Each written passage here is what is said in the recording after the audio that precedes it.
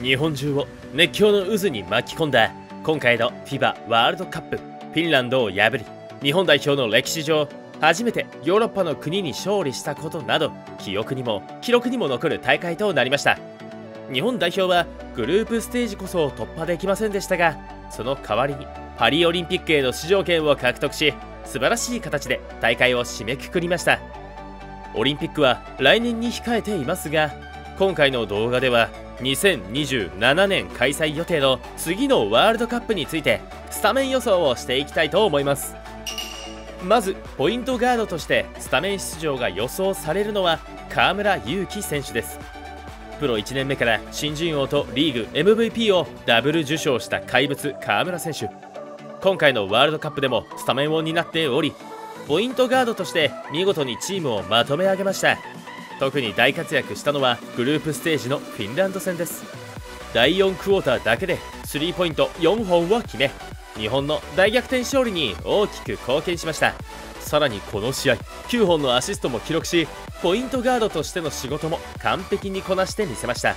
出場した5試合で記録した平均7.6アシストは大会の全出場選手の中で3位タイの好記録でした。このワールドカップでの活躍を受けて複数の海外チームが河村選手の獲得に興味を示していると報道されています。その中にはすでに連絡を取ってきているチームもあります。さらに NBA 下部リーグである G リーグのチームからも関心を集めていて仮に河村選手が G リーグに所属すれば NBA チームに参加できる可能性さえあるのです。また河村選手のプレースタイルはトム・ホーバス監督が目指しているテンポの速いバスケットと非常によくマッチするためホーバス監督が代表の指揮を取る間は間違いなく河村選手が起用されるでしょう。昨年7月アジアカップの代表メンバーとして出場した河村選手。シュートを打つことに消極的でホーバス監督に怒られたことがあります。シュートを打たないなら使わないと言われた河村選手はコートに戻ってすぐスリーポイントを決めました。怒られてもプレッシャーに負けずいいプレーをしようとする河村選手のメンタリティーについてトム・ホーバス監督は。河村みたいな選手は好きです。怒っても次のプレーはやります。それは好きです。と話しています。監督からも熱い信頼を得た河村選手はスタメンとして起用されるのは容易に想像できますね。というわけでスタメンポイントガードには河村選手が選ばれると予想しました。続いてはシューティングガード。富永啓生選手が選ばれるのではないかと予想しました。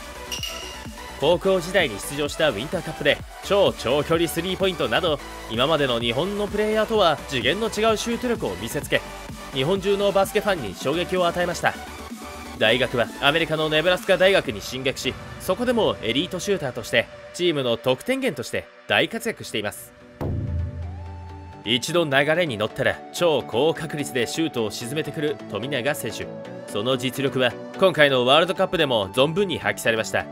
日本が大逆転勝利を収めたフィンランド戦でフィンランド優勢だった流れを断ち切るスリーポイントを何本も決めたりカーボベルデ戦ではスリーポイントを8本中6本決めるなど何度も日本に良い流れをもたらしました。ホーバス監督のもとスリーポイントを多用する戦術を用いている日本代表にとってわずかなスペースがあればシュートを打てる富永選手はもはや不可欠な存在でしょう。ある選手が出場している間にどれだけ点差が開くかを示す貢献度という指標がありますこの貢献度がプラスだとその選手が出ている間は相手に勝ち越しているということになります。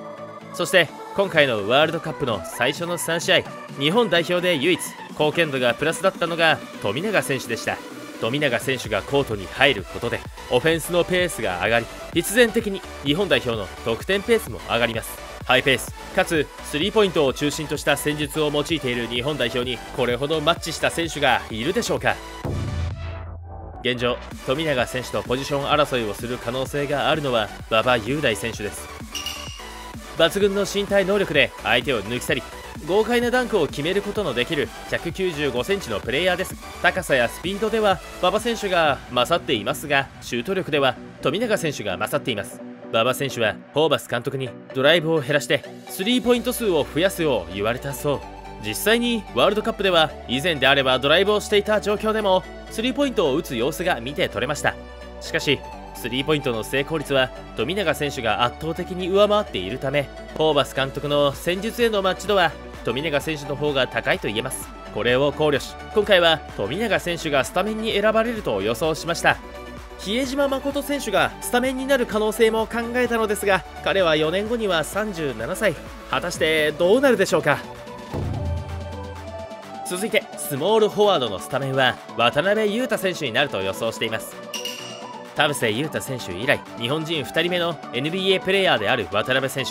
初期はあまり出場機会に恵まれず決して順風満帆とは言えない時期が数年続きましたが昨年ブルックリンネッツに移籍し粘り強いディフェンスと高精度なスリーポイントを駆使し主戦力として起用されるようになりました。今オフシーズンにフェニックス・スタンズと2年契約を締結しネッツ時代のチームメイトだったケビン・デュラントと再び一緒にプレーすることが決まりました。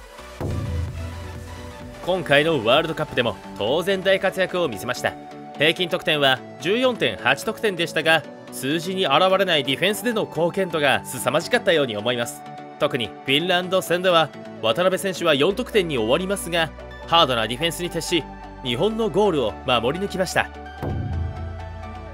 パリオリンピックへの出場権を獲得できなかったら日本代表を引退すると話していた渡辺選手。無事にオリンピック出場が決定しホーバス監督に引退しないでしょ？と聞かれたのに対し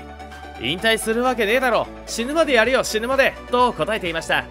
きっと4年後のワールドカップにも出場してくれることでしょう。スモールフォワードに関しては渡辺選手でほぼ確定ではないかと予想しています。他の候補選手としては今回のワールドカップにも出場していた吉井宏隆選手原修太選手がいますが国際大会また日本以外のプロリーグでの経験が多い渡辺選手が起用されるでしょう。ただ今挙げた2人もディフェンスに定評がありしっかり得点もできる選手なので渡辺選手のバックアップとして良い仕事をしてくれることでしょう。続いてパワーフォワードですが八村塁選手が出場するとなれば彼のスタメン起用が確実でしょう。日本人初 NBA ドラフト1巡目指名され現在はロサンゼルス・レイカーズでプレーしている八村選手。今オフシーズンに渡辺選手と同じ日にレイカーズとの契約更新したことが公表されました。その契約金はなんと3年5100万ドル。日本円で約73億円の大型契約です。NBA でもこれだけの金額をもらっている選手は決して多くありません。NBA のスタメン級の選手の中でも高い方でしょう。2年前の東京オリンピックでは八村選手さえ止めれば日本には勝てるという雰囲気があり実際に対戦相手も八村選手にかなり重点的にディフェンスしていました。しかし今の日本代表を相手にその考えは通用しません八村選手以外にも自ら得点できる選手がどんどん増えてきているからです。それでもやはり日本代表の絶対的エースは八村選手でしょう。4年後に29歳になる八村選手はその頃に肉体的なピークを迎えます。今以上に洗練されたプレーを身につけ世界を蹴散らしてくれると期待しましょう。パワーフォワードのポジションについては八村選手に代わる選手は現状いないと言っていいでしょう。それもそのはず他の選手が悪いのではなく八村選手が強すぎるのです。井上宗一郎選手や張本天傑選手などアウトサイドシューターも打てるビッグマンがまだまだ日本にはいるので八村選手をバックアップしてくれることでしょう。またジョシュ・ホーキンソン選手と渡辺裕太選手もパワーフォワードとしてプレーすることができるため八村選手と3人でローテーションすることも考えられます。最後にセンターのスタメンとしてはジョシュ・ホーキンソン選手が選ばれるのではないかと予想しています。アメリカ出身で大学卒業までアメリカでプレーしていた選手で大学卒業後に日本にやってきてプロとしてのキャリアを日本でスタートさせました。その後日本国籍を取得し日本代表として国際大会に出場できるようになりました。日本に来る前には NBA の練習にも呼ばれ参加していたほどの実力者。そんな彼が日本にもたらしたものは非常に大きいものでした。まず彼のワールドカップでの平均得点は21点で出場国の全選手の中で7位でした。また2ポイントフィールドゴール成功率は73.5%で全体1位。平均リバウンドは10.8本で全体2位。トータルの貢献度はあのルカ・ドンチッチをも上回り全体1位を記録しました。ゴール下で戦うことができ速攻の先頭を走ることもできスリーポイントを打つことだってできる。2 0 8センチの万能選手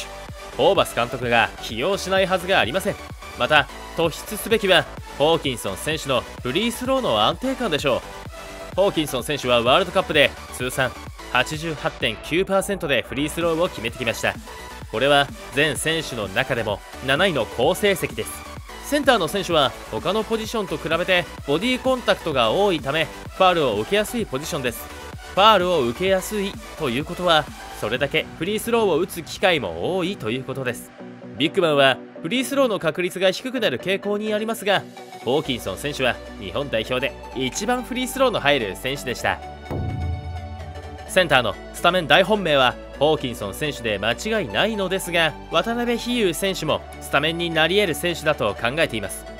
彼はホーキンソン選手とは少しプレースタイルが異なり抜群の身体能力を生かし攻守両面でインサイドを支える選手です。身長も207センチとホーキンソン選手とほぼ変わらないためあとはどのような局面でどちらの選手を使うかというだけの問題です。一つ懸念点があるとすれば怪我の多さです。まずプロデビュー直前に怪我をしそこから1年半ほど公式戦を欠場しています。また今回のワールドカップの代表候補にも選ばれていましたが大会直前の練習試合で肩を負傷してしまい代表を離脱しました。まだ24歳と若く才能にあふれた選手なので怪我さえなければホーキンソン選手を抑えてスタメンになる可能性もあります。しかし現状ではホーキンソン選手がスタメンになる可能性の方が高いでしょう。以上。4年後のワールドカップのスタメン予想をしてきましたがこれはあくまで現時点での予想に過ぎません。4年もあれば他にいい選手が現れることは必然です。そこでここからは4年後の成長度次第でスタメンになり得るポテンシャルのある選手たちを紹介したいと思います。まず最初に紹介するのは熊谷ジェイコブス・アキラ選手です。アメリカ人の父親日本人の母親の間に生まれたジェイコブス選手。神奈川県横須賀市で生まれてすぐアメリカに引っ越しました。高校の途中までアメリカで過ごしましたがコロナ禍で高校が休校になってしまいバスケをプレーすることができなくなってしまいました。そこでバスケをプレーできる場所を探した結果日本の通信制高校への進学を決めました。そして日本にやってくると横浜 B コルセアーズのユースチームに所属が決まります。その後すぐにトップチームと特別指定選手契約を締結しわずか17歳でプロデビューを果たします。さらに2022年10月からはオーストラリアにある NBA グローバルアカデミーに所属し実力をどんどん伸ばしています。今年の秋からはアメリカのハワイ大学に進学が決まっているジェイコブス選手。さらなる成長が期待されます。そんな彼の特徴は2 0 0センチの長身ながらガードとしてプレーできシュート力も併せ持っている点です。ちょうど今回のワールドカップでも活躍していたオーストラリア代表のジョシュ・ギディのような選手が日本代表に入ってくるようなものです。どうしてもこれまで高さで不利だった日本代表にとって2 0 0センチのガードはまさに求めていたピースではないでしょうか。また19歳で身長も伸び続けているジェイコブス選手。これからの4年間彼がどれだけ大きく成長するのかそれによって日本代表のスタメン入りもありえるのではないでしょうか。続いて紹介するのは金近蓮選手です。現在20歳千葉ジェッツに所属しているスモールフォワードの選手です。大阪に生まれた金近選手。関西大学北陽高校に進学し3年時に出場したウィンターカップでは福大大堀高校を相手に34得点12リバウンド10アシストのトリプルダブルを達成するほど圧巻のスタッツを残します。高校卒業後には東海大学に進学し1年生からチームの中心選手になります。2年生の時にはインカレで日本一に輝き金近選手は得点王となります。3年生に上がった直後金近選手は大学を中退し千葉ジェッツに所属することが決定します。大学のレベルでは体をさらに鍛えなくても戦えてしまうため現状で満足してしまうかもしれません。それではダメなので環境を変え上のレベルでやらなければと考えました。という考えのもと決断をしたそう。今回のワールドカップの代表候補にも選ばれていましたが本戦に出場する12人には残念ながら選ばれませんでした。しかし大学を離れてプロの中でプレーすることになりこれからの成長スピードは今まで以上になるでしょう。1 9 6センチのスモールフォワードは渡辺裕太選手からスタメンの座を奪うことができるのか注目して見ていきましょう。続いて紹介するのは川島優斗選手です。身長2 0 0センチのビッグマンでポジションはパワーフォワードです。群馬県生まれの川島選手は中学卒業後には名門校である。福岡大学附属大堀高校に進学します。中学時代から全国的に有名な選手だった。川島選手は高校でも1年目から主力として活躍します。当然のように1年生からスタメン起用されインターハイ3位ウィンターカップ優勝にチームを導きます。ウィンターカップに関しては大会ベスト5にも選出され世代トップ選手としての名を欲しいままにしました。2年生になってからも快進撃は止まりません。チームのウィンターカップ準々決勝敗退と前年に比べて成績は下がりましたが川島選手個人としては上り調子です。アンダー16の日本代表に選出されアジア選手権に出場した川島選手はチームを準優勝に導きます。川島選手はこの大会で得点王 MVP に選ばれます。同じく日本代表として出場したアンダー17ワールドカップでは個人の得点ランキングで2位につけます。さらに世界中から選ばれしプレイヤーが集う NBA が主催する練習会であるバスケットボールウィズアウトボーダーズに参加します。世界中からも注目を集めるプレイヤーに成長しつつあります。そして川島選手は高校2年生が終わった時点で高校を退学し NBA グローバルアカデミーに移籍することを発表しました。